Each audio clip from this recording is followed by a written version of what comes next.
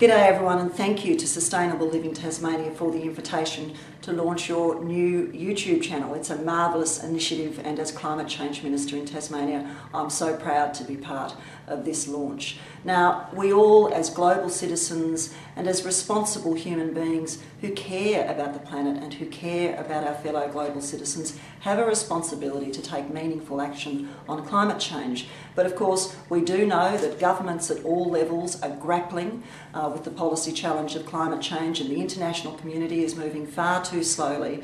What I love about Sustainable Living Tasmania is that it's out there on the ground working in Tasmania every day uh, to lower emissions for households and to reduce the cost of living. And for low income tenants, uh, of course, that can make a huge difference. And of course, uh, when your home is more energy efficient, it's healthier and it's happier.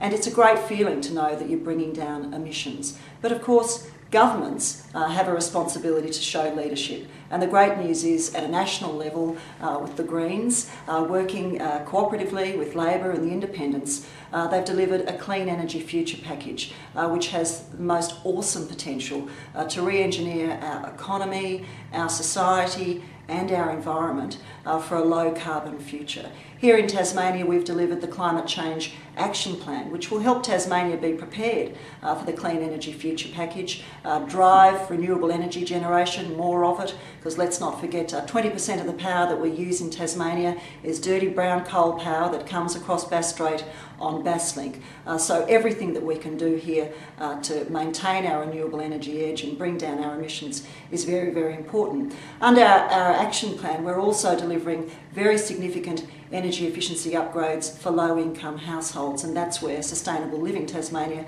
is playing a role too. And importantly, under our plan, uh, we have a scientific study underway to work out exactly how much carbon is stored in our beautiful forests here in Tasmania.